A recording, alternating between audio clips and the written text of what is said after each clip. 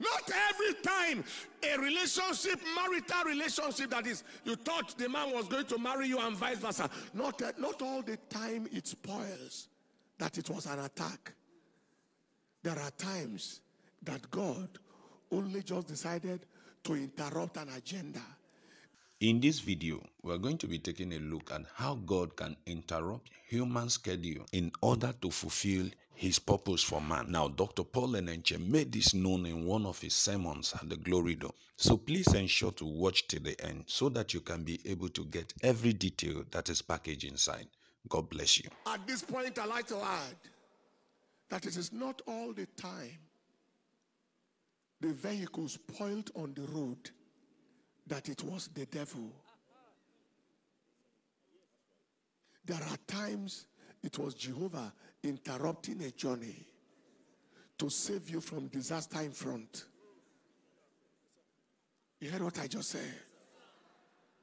At times, he gave you a, a, a, a purposeful flat tire to slow you down in order not to run into calamity.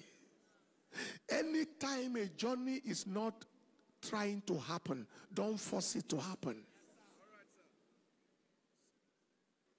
Not every time a relationship, marital relationship, that is, you thought the man was going to marry you and vice versa. Not, not all the time it spoils that it was an attack. There are times that God only just decided to interrupt an agenda. The devil was packaging you for an occultic person. He may not be occultic now, but he will use you to look for money tomorrow.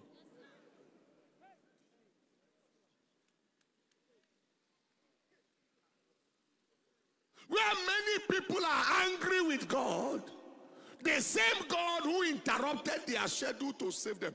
In our place, they said, when you are driving hen from the highway, you will be angry, eyeing you, saying you are depriving it of eating corn, not knowing that you are saving his head.